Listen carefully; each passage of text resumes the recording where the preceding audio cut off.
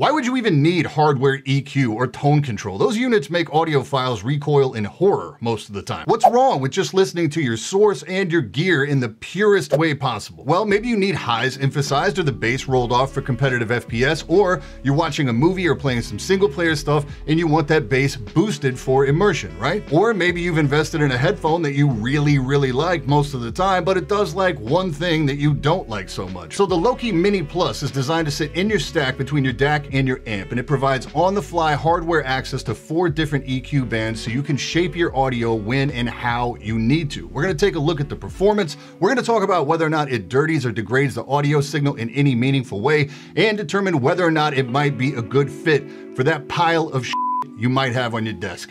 You ready? Let's go!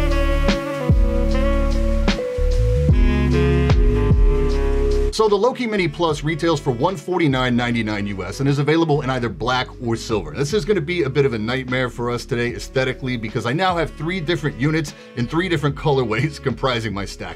We're gonna be using the Heresy today versus the 3 Plus because I find the Heresy to have a naturally cleaner sound where the 3 Plus for me has a bit of character to it. Full disclosure, Schiit did send this out for review, but as always, there was no other compensation of any sort involved. They didn't get to hear or see any aspect of this review before you did, and it wouldn't affect anything anything I had to say about it anyway. Design here is dead simple. On the rear, you have power in, then RCAs for both ins and outs. This is important because you don't need a Schiit stack specifically to take advantage of this. You can use this in any stack where your amp and your DAC are separate components. Or you have a loop out for like effects, which is really uncommon outside of stuff like mixers or interface. So singular DAC amp units or combo units, something like a FiiO K5, it's not gonna work here. Around on the front, you have four knobs for 20 hertz, 400 hertz, 2 kilohertz, and 8 kilohertz. So if you're kind of new to this, that's lows, low mids, high mids, and highs. And there's a bit of a curve to each one of these bands, like a parabola, so you're affecting more than just that specific value. These are zeroed when they hit 12 o'clock, and you can feel that in the pots. These are Alps. They're not super smooth feeling, but I don't get any noise at all in the headphones when I turn any of them. The knobs do kind of feel like they're all plastic. We also have a bypass switch here that's a real deal relay connecting the ins and outs directly, so there is nothing active in the chain on bypass. That means you get a totally transparent or clean bypass for the times that you don't want any tone control in your chain at all.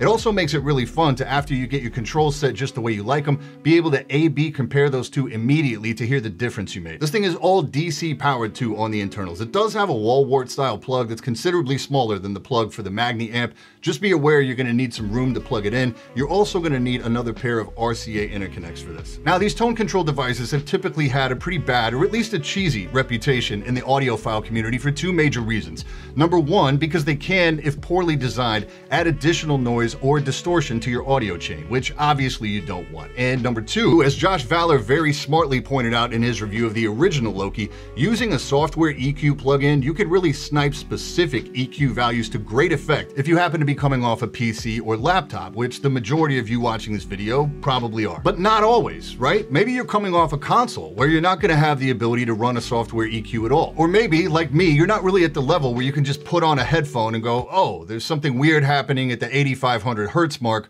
we gotta fix that. The first time I opened something like Equalizer APO, I was totally lost. While it's really powerful for someone with a strong working knowledge of parametric EQing, it's pretty cold and intimidating for somebody new to the space. So using something like the Loki Plus gives you the ability to just reach over and dial up or down across those four bands to get it a little closer to what you want to hear. After all, you paid for your headphones and your DAC amp. I mean, hopefully you landed close enough on your headphone purchase to get something you were already happy with, but there are gonna be those times, depending on what you're doing, where you want a little bit more of this or maybe a little bit less of that. Competitive FPS, lose the bass and tweak the knobs until you're accentuating the footsteps in your favorite game. Single player, dial up the bass for a more immersive experience. Even when listening to music, you've probably discovered that your headphones do a better job playing to certain genres of music than others. Like you're not gonna want the crazy low end of rap or EDM when you're listening to like a light, airy indie band. So you could reach for software EQ and the learning curve, or you could just throw bags of money at the problem until you had a pair of headphones for every specific use case or genre of music you enjoy. It happens to the best of us. Or you could spend 150 bucks on something like the Loki Plus and broaden the scope of the headphones that you already own. But none of that convenience matters if the device that you're putting in your chain brings the quality of the experience down. You don't want to add noise or distortion or background hiss. And that is kind of a common thread when you go back and read or watch reviews of the original Loki, hence the redesign. Now, I can't speak to that original unit,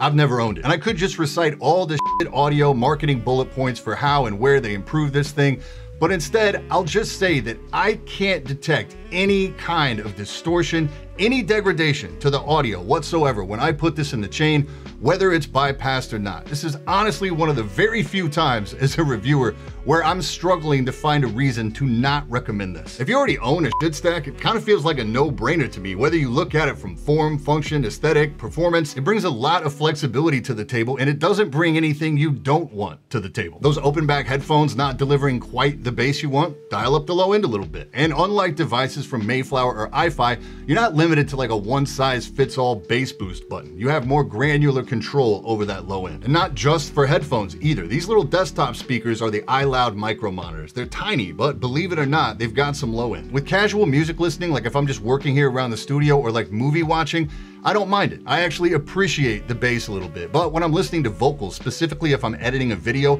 and I'm really trying to nail that timing, that edit, I don't want the bass in the vocal. It's distracting to me, so I can just reach over and dial that back a little bit. Look, if you made it this far, you already know whether this product is for you or not. If you're an audiophile with a hefty selection of high-end cans, a stack worth a used car, and a powerful grasp on the process of parametric EQing, this is probably a pass for you. I can assure you with absolute certainty that this is not gonna dirty or degrade your audio signal in any way, and you'd likely just think I was an idiot. Fair enough. But if you have an entry level to mid-grade setup and some entry level or mid-tier headphones, especially if you already own a Schiit stack and you need your setup to be more flexible, more usable in more situations, or more tunable to how you specifically enjoy listening to your music, this is an easy recommend. As always, links down below if you want to get your hands on one. Any questions, hit me in the comments. And that's it for this time. I'm Brian P. Thanks so much for watching. Don't forget to hit that like button, hit that sub button. And until next time, stay up.